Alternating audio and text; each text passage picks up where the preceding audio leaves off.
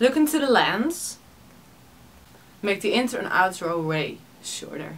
Work on your jump. Jump cuts. Okay?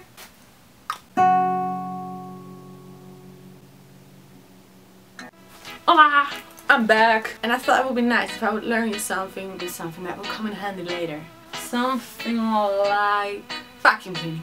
Because not many know how to actually do that. And I have to vacuum clean this house as one of my chores in this family. This also helps me to prepare for when I move out and be forced to grow up.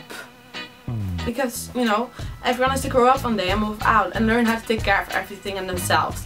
And you'll probably have to take multiple jobs to pay everything. And then the government will still have your money. And your parents, they want you to call them every day. And friends, I don't know if you have friends. Maybe you have friends you need to socialize with. And do you know how much time that would take? Why would you have friends? It's unhealthy. You don't have friends. And oh my fucking god, you also have to maintain your blog, your two blogs, and keep them alive. And oh my fucking god, there's this new Jeff Bezos fanfiction now. But you're already reading this book. And how is it 4 a.m. in the morning already? Or is it 4 a.m. in the night? I don't even know.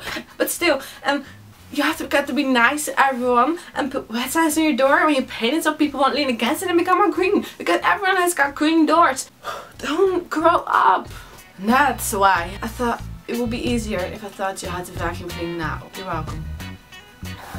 So, as some of you might know, the vacuum cleaner doesn't actually clean vacuums. Vacua.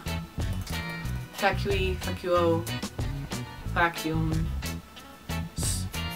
It just get rid of dust by sucking off your floor and sucking your furniture, most likely sofa clean. And sucking off your cat. I could have said pussy there, but I didn't. Now when it comes to vacuum cleaning, you should be aware of a few things. One, vacuum cleaners do have a thing for objects most likely of value, like jewelry or small dolls or your winning lottery tickets. Two, you have to take good care of your vacuum cleaner, like I do with mine. Just look and listen how happy it is.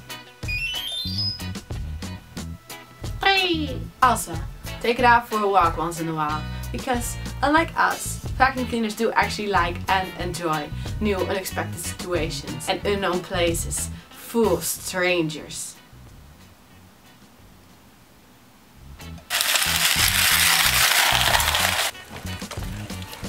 You finally start cleaning, you have to make sure you make smooth forward and back again movements. Forward and back again. Not back again and forward.